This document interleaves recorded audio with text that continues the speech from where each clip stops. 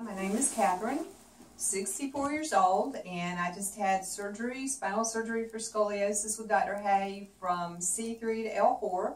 My spine is totally straight. Um, before I looked like a crooked S, and um, I had a hump on one side of my back, and I had a um, concave rib on the other side. I had a lot of digestive problems.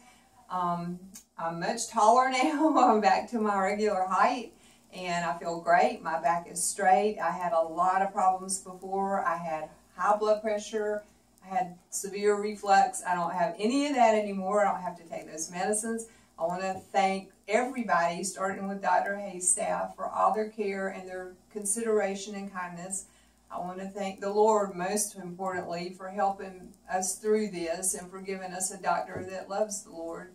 Um, and I want to thank the people in the operating room that did such a remarkable, wonderful job. Um, everything, all the people at Duke in the hospital that cared for me there, um, from the people that brought the food and cleaned the room up to the nurses. Everybody was kind and considerate, and I just want to thank everybody that had a part in my in my care, and of course my husband, who has really been my my backbone through it all and y'all didn't tell me I was going to have to do laundry and cleaning, and so we need to speed up process. But but really, it's just been awesome. It really has been awesome. I just uh, thank God. It's been really awesome. A wonderful team.